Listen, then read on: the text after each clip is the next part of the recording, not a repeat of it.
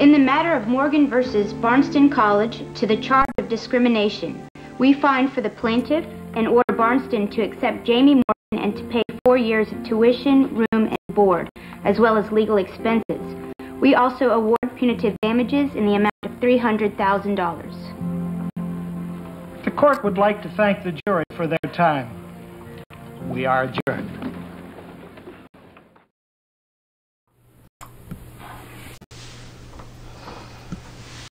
Are you getting nervous? That's natural, sweetie. Just relax, okay? Now you're gonna get out there and give the best acceptance speech ever. I am. Yes, you are. Because you love me.